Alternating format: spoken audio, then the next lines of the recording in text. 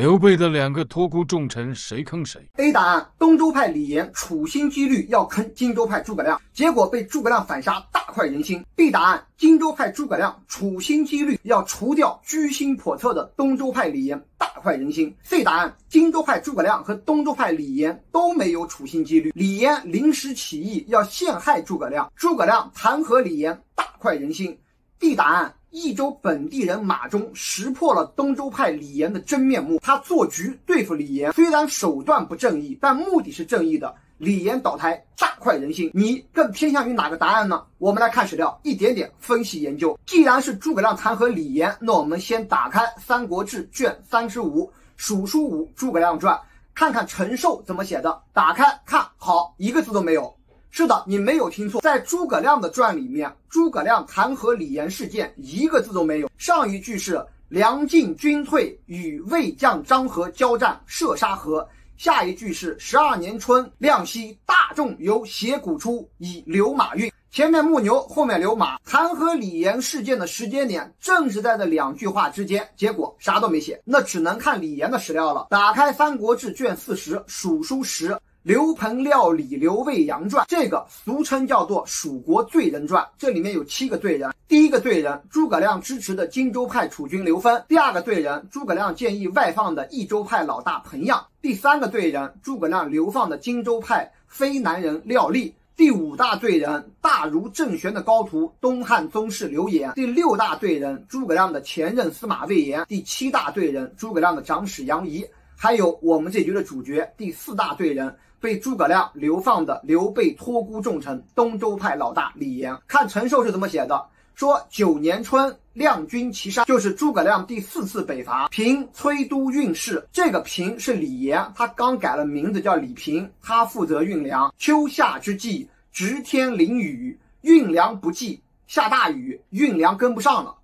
平遣参军胡忠督军陈蕃谕旨，呼亮来还。李严派他的参军胡忠，也就是马忠，他以前跟外公姓胡。这个平遣参军胡忠是说李严派参军马忠，还派了督军陈蕃去告诉诸葛亮，呼唤诸葛亮带领大军回到汉中。亮乘以退军，诸葛亮接受了这个建议，就退兵回来了。平闻军退，乃更阳惊。李严听说诸葛亮退兵了。就变成假装很吃惊的样子，说：“军粮饶足，何以便归呀？军粮非常充足呀，你诸葛亮咋回来了呢？欲以谢己不办之责，显亮不敬之谦也。”李严打算用这种方法开脱自己办事不力的责任，他负责运粮，因为下雨运粮跟不上，这是他的责任。他打算为自己开脱，来显示是诸葛亮不愿意进军，意思是我这边运粮没问题。你自己退兵回来的，我李严不存在运粮问题，没这事儿。又表后主说，军委退。欲以诱贼与战，然后李严又给阿斗写信说，我军是在假装撤退，打算引诱魏国来交战。那诸葛亮怎么回应的呢？诸葛亮就把他和李严之间所有的书信都展示出来，李严的过错就全部暴露了。李严无言以对，而且理亏，只好低头认罪。好，史料看到这里，刚才的 A、B、C、D 四个答案，大家怎么理解？A 答案是东周派李严处心积虑坑荆州派诸葛亮，结果被诸葛亮反杀。大快人心，跟史料能不能对上？李严先派人告诉诸葛亮说下大雨，粮食跟不上，你回来吧。然后一转脸说，哎，你怎么回来了？粮食够啊。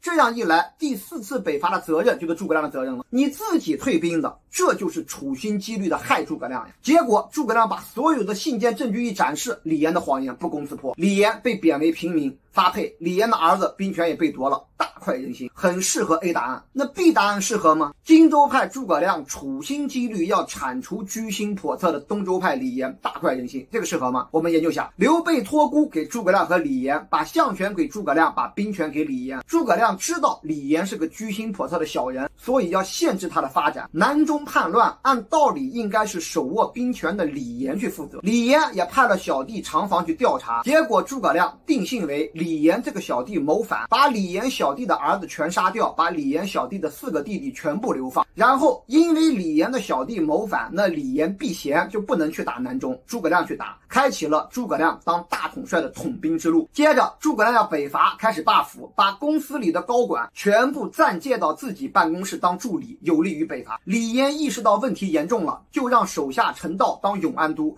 自己跑到重庆建做了一座城，进可带兵入成都，退可防守搞火并。但诸葛亮突然又拉拢李严，让李严进入诸葛亮的这个霸府里面当二把手，二把手得负责运粮草呀。结果诸葛亮退兵后弹劾李严，说明明是李严叫自己回来的，又装无辜，然后拿出所有证据，然后李严完蛋了。有没有觉得整件事很小儿科？你回来吧？咦，你怎么回来了？哦，原来你保存了我们之间的书信呀。哦，露馅了，我错了，我认罪。像不像小学生？你敢相信这是刘备的托孤重臣吗？你敢相信这是蜀汉的二号人物吗？这可是牌桌人物呀！那是因为我们今天看见的全是诸葛亮的一面之词，没有看见李严视角的发言。因为罪人传没有话语权，他没机会讲话。有人说了，那这么看诸葛亮是坏的呀？非也，牌桌游戏只有赢家和输家，没有好的和坏的。再说了，李严也不是好人呀。士族的目的是要创建氏族王朝。如果李严掌权了，阿斗就成傀儡了呀。也许李严会让三个南阳的文人盯住阿斗，所有的事得跟这三个南阳文人商量。也许李严会派一个南阳的武将管理禁军，阿斗被软禁了，连都江堰都去不了。也许李严会要求阿斗皇宫里的规则必须和他的将军府一样，而且会限制阿斗和外戚宦官接触。你想呀？诸葛亮作为刘备的托孤重臣，他能眼睁睁地看着李严做大后，然后阿斗变成这种处境吗？诸葛亮跟刘备和阿斗那是有感情的呀，所以必须要限制李严，否则未来李严死后，阿斗就得禅让给李严的儿子李丰了呀，氏族王朝就创建了呀，大汉刘家的天下就没了呀，这还了得？所以 B 答案，也许你觉得行为上不是传统意义上所谓的正义，但目的是正义的。我诸葛亮虽然也是氏族，虽然氏族创建氏。族王朝是隶属洪流，虽然这是不可逆的，但我诸葛亮跟其他的氏族不一样，我是一个突破了历史局限性的人。我儿子、孙子、我重孙子，我世世代代永远不会篡位。我能保证我诸葛家不篡位，谁能保证李严家不篡位呢？所以我是正义，李严是邪恶，所以我干掉李严是对得起刘备的。C 答案。荆州派的诸葛亮和东周派的李严都没有处心积虑。李严临时起意要害诸葛亮，诸葛亮弹劾李严，大快人心。也就是汉末三国没有牌桌游戏，没有斗争，尤其是蜀汉内部是团结的，都亲如兄弟，铁板一块。只是在第四次北伐的时候，李严一时鬼迷心窍，注意是一时，临时决定甩锅给诸葛亮，但没有想到诸葛亮保留了之前的证据，李严错了，但他呢幡然悔悟，意识到自己错了。但李严，你作为刘备的托孤重臣。你必须为自己的行为负责呀，规矩就是规矩呀，谁也不能违背规矩呀。所以李岩还是被流放了。D 答案，益州本地人马忠识破了东周派李岩的真面目，他做局对付李岩，虽然手段不正义，但目的正义。李岩倒台，大快人心。大家注意到没有？这有个问题，是李严亲口对诸葛亮说粮食运不上，你回去吧，是吗？不是啊，是李严派马忠去传话的。那有没有可能李严压根没说过这些话，是马忠瞎编的？说是李严说的，劝诸葛亮回来。诸葛亮一回来，李严当然一脸懵呀，这矛盾就产生了。那马忠在害李严，那马忠为什么要害李严呢？因为马忠是益州本地人呀。那李严是东周派难民的代表呀。东周难民压迫益州本地人三十多年了，本地人借这个机会报复东周难民势力，与荆州派联合，一起把东周难民势力压下去。很正常呀，所以 D 答案其实还得细分。第一是诸葛亮并不知道本地人在撒谎坑李严，他被本地人利用了。第二，本地人知知道瞒不过神机妙算无所不知的诸葛亮，所以主动老实交代，和盘托出。诸葛亮怕李严未来做大，万一李严把阿斗弄成傀儡怎么办？为了阿斗，所以诸葛亮同意联盟。看了史料，这几个答案，你们更倾向于哪一种呢？当然，你也可以不下结论，因为史料还有，依然是罪人传的李严部分，后面还有陈寿写的。说诸葛亮上表说，自从先帝去世后，李严的心思总是在治理家业上，喜欢施舍一些小恩惠。想以此保全自身啊，求取虚名。他从不忧虑国家大事。臣诸葛亮，我要北伐，想让他带兵镇守汉中，他就再三推辞，没有前去的想法，反而要求我把五个郡合并起来，让他担任刺史。去年我想西征，想让他管理汉中，他却说司马懿等人在魏国开府招小弟了。臣知道李严的卑微心思，他是想在我临行之前逼迫我能给他一点好处，所以我就。推举了他儿子李芬当江州都，提高朝廷对他的待遇，应一时之需。李严上任的当天，我就把大大小小的事情全部委托给他了。群臣上下都奇怪我为什么对李严这么好，这是因为国家大事未定，汉室危亡之际，与其批评李严的短处，不如褒奖他的长处。臣只是以为李严的心态不过就是为了一些荣誉和利益而已，没想到他竟然如此颠倒是非。如果再拖延下去，将会给国家带来灾害和失败。臣当时实在是不聪明，话说多了，恐怕再增加失误。好，这是陈寿写的，说的是诸葛亮给阿斗上的公文，那符合 A 答案吗？非常符合。在诸葛亮状告的小作文里面，李严是个坏人。李严从来就不忧虑国事，只经营家业，喜欢用小恩惠收买别人，喜欢搞虚名。找诸葛亮要官，要当刺史，给儿子要官，不给他儿子封为江州都，他就不来帮忙。诸葛亮这么信任他，把事情全部委托给他，而他却坑害诸葛亮，颠倒是非，纯坏人。那符合 B 答案吗？也符合。你诸葛亮咋知道李严不忧虑国事？刘备死后，诸葛亮从未去过永安，压根没机会见到李严。你怎么知道李严不忧虑国事？李严对身边的人施舍，这说明李严仁德呀。怎么到你口中反倒变成了用小恩惠收买人心，为了取得虚名？再有。李严找你要官，那是要官吗？那不是在讽刺你吗？李严说：“你诸葛亮已经是丞相加荆州牧加司隶校尉加开府了，你竟然还要 buff？我们俩都是刘备定的托孤重臣，这太不公平了吧？那你应该给我当个州牧呀！你诸葛亮的官太多了，还 buff？你诸葛亮怎么不给自己封王呢？怎么不给自己发九次呢？念次。李严是这个意思，怎么这些话还能变成李严找诸葛亮要官当刺史了呢？李严傻呀！”他真的认为诸葛亮能让他当刺史吗？这就是个怼人的话呀！再有。当时李严已经在重庆筑城了，那就是等着诸葛亮带兵来打重庆，开始火并了。明明是你诸葛亮向李严示好，你主动说我封你儿子当江州都，我封你当我丞相府的二把手，你带两万兵来汉中，我们合作。否则李严怎么会去汉中呀？现在怎么变成他去了汉中找你讹诈官职了呢？还逼迫你给他儿子封官，扯不扯呀？他在自己建造的重庆城里待的不安全吗？如果他一直在重庆城里待着不出来，你现在有机会弹劾到。到他吗？你见都见不到他。你明明是拿着江州都跟蜀丞相府事的两个官职作为诱饵，把他像钓鱼一样钓出来再干掉，咋变成他主动跑来找你合作，还讹诈你呢？你明明是钓鱼一样把他钓出来，现在小作文里面你成了好人。我是为了团结李严，我把大大小小的事都给他管，他管啥了呀？他能调动你的一兵一卒吗？你的长史司马中监军听他的吗？魏延听李严的，还是杨仪听李严的，还是邓芝听李严的呀？哪就大大小小的事给他管了？他他就运个粮，管自己带来的两万兵。有人说了，运粮好呀，重视呀，这是权利呀，这不是权利，这是责任。一旦运粮出问题，就是李严的责任。然后李严被干掉了，就是因为这个责任问题，而且最后。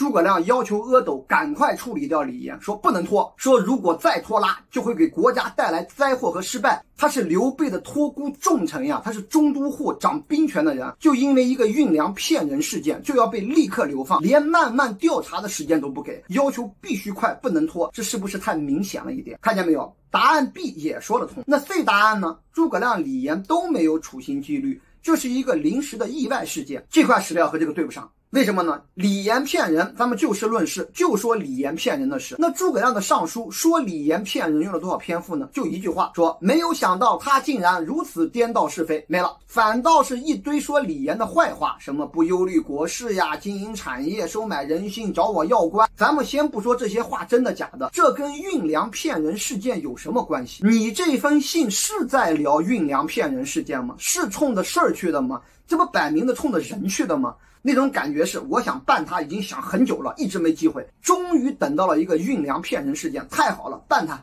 运粮骗人事件一句话就说完了，我给你好好说说他这五百年来的罪过，他竟然搞施舍，收买人心，又为了获得名誉，罪不可赦呀！那 D 答案呢？马忠挑拨成立吗？这就需要聊什么呢？马忠说，李严派我让你诸葛亮回去，李严说，我没说过。我说的是粮草充足，那需要辩论了。马忠和李严谁说了假话？但在诸葛亮的书信里面压根不聊这个。所以这段史料对 D 答案无效。这个史料里没有马忠。好，陈寿写的看完了，我们再看裴松之补充的史料。诸葛亮上报文件给阿斗说，李严作为朝廷重臣，受朝廷的恩赏是过度的，但他不思考忠心报国，而是平白无故的制造没有由头的灾祸，对有危险并产生耻辱的事物不处理，欺瞒朝廷上下。讨论预案，放弃法令，引导别人做邪恶之事，心胸狭窄，志向狂妄，狂得无法无天。自己明白奸恶之事败露，于是就生出了记恨。听说大军回来了，以生病为理由，到了莒章一带。等大军回到莒县，他又到了江阳。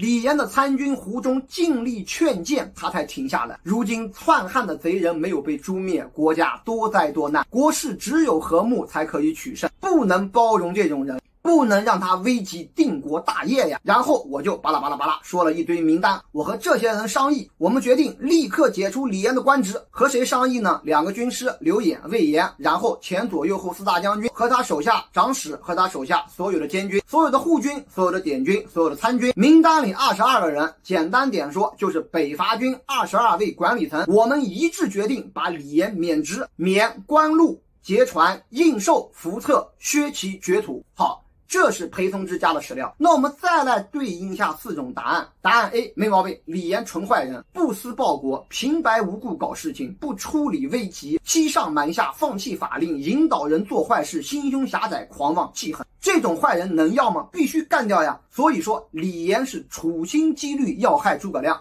结果被诸葛亮反杀，大快人心。再看 B 答案视角，这段里面有干货了。诸葛亮退兵的时候，李严以生病为理由走了，到了莒县。诸葛亮带军到了莒县呢，李严又离开了，到了江阳，是不是很神奇？李严并不是乖乖带着两万大军在大本营里面等诸葛亮回来，而是像感受到了危机一样，一直在躲避诸葛亮军。然后是马忠劝诫李严，李严才不躲了，回去了。结果彻底被弹劾流放。那我们换个思路，如果李严没有听马忠的，李严带着自己的两万军队一口气回到他建造的重庆城，那诸葛亮还有机会流放到李严吗？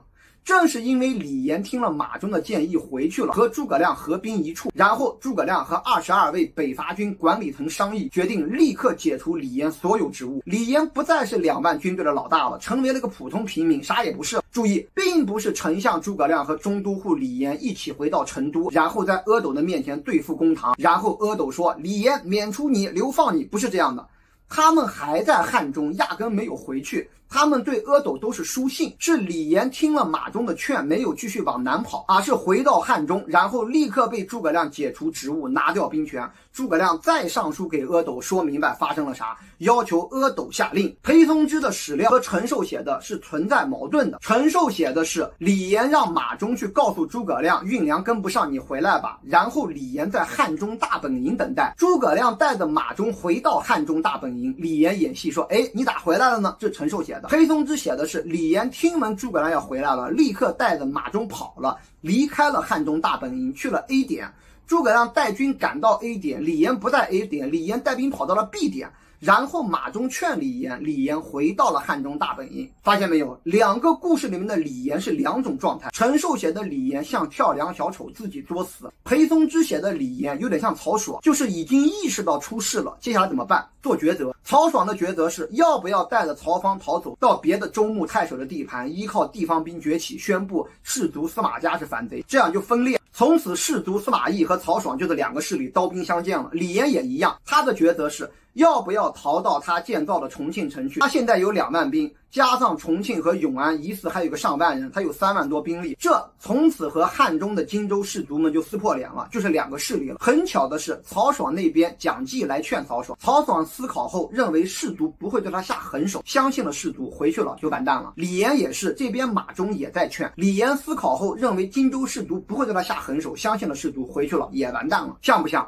曹睿托孤给司马懿、曹爽，刘备托孤给诸葛亮、李严，相似度高不高？最大的区别是司马懿对着洛水发誓，不知道诸葛亮有没有。所以有没有可能李严预料到了危险，逃走被忽悠纠结，最后轻信了对方，完蛋了？但汇报材料不能那么写，得写成李严运粮骗人。当然。曹爽事件的汇报材料也不能直接写，要写成曹爽阴谋叛变，曹家宗室要叛变曹家皇帝。这听着像不像个笑话？就像李严运粮撒谎一样，像不像个小学生的笑话？但历史就是这么神奇，这么荒唐的理由，他竟然真的彻底干掉了托孤重臣。好，以上是 B 视角观点，那 C 观点呢？没有预谋，这是李严临时起意。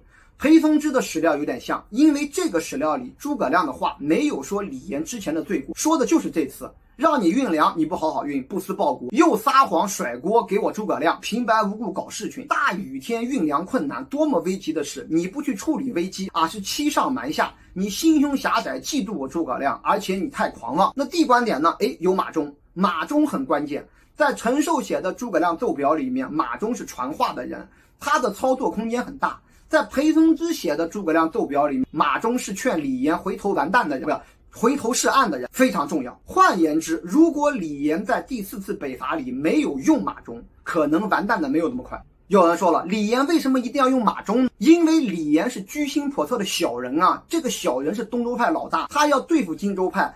那他就要团结可团结的力量呀，比如说益州本地人，弱弱联合呀。马忠是益州本地人里的代表啊，他后来临时当过平尚书事呢。州派诸葛亮团结东周派李严，把东周派当二把手；东周派李严团结益州本地人马忠，把益州本地人当二把手，逻辑一样呀。但益州本地人明面上和东周人弱弱联合，实则是跟最强的荆州人暗中联合，一起坑东周人，这把三十多年的大仇给报了呀。那至于荆州派是不是从此把益州人当朋友了，和睦相处了，不压制本地人了，那是后话。至少眼前我报仇了，我益州本地人最恨东周人，先爽了再说。好。这就是弹劾李严事件相关的先后史料，有什么理解？评论区里留言。最后，我知道有人肯定会说，李严跟诸葛亮没有矛盾，李严被流放过后，最后听说诸葛亮死了，李严很难过。对，李严就那么天真，他一直认为诸葛亮还会启用他，因为他认为我已经向诸葛亮投诚了。诸葛亮活着就有机会重新相信我启用我，而诸葛亮死后，那蒋琬、费祎这些小一辈的人是不可能敢用我的。所以诸葛亮一死，我的牌桌生涯彻底结束。